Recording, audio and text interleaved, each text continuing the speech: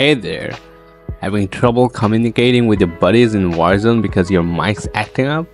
No problem at all. In this video, I'll guide you through resolving the microphone not working issue in Call of Duty Warzone. Let's jump right into it without any delay. Solution 1. Update your audio driver. You can update it either from Windows Update or Device Manager. To update from Windows Update, open Settings. Then click on Windows Update and hit check for update. Now Windows will take care of updating any outdated drivers, including your audio driver. If no updates are found there, head to Device Manager. Then type Device Manager in the search box and click on it. Once it's open, expand the audio inputs and outputs section. Next, right click on your microphone device and select Update Driver.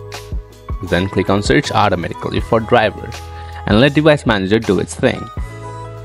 After updating, don't forget to boot your computer and test your mic. Solution 2. Check the in-game microphone settings.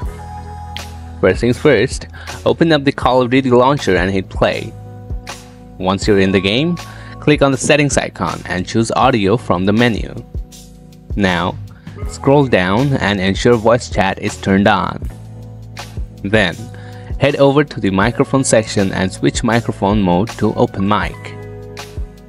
Next, click on microphone input device and pick the correct device from the drop-down menu. Finally, turn on test microphone and see if it's working properly. Solution 3. Still facing issues? Set the correct microphone as default. To do this, simply right-click on the sound icon in your taskbar and choose Sound Settings.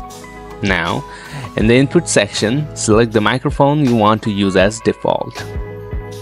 Then scroll down and click on More Sound Settings. A new window will appear. Click on the Recording tab. Next, right-click on your microphone device and select Set as Default Device. Then, right-click again and choose Set as Default Communication Device. Your microphone should now work seamlessly in Warzone.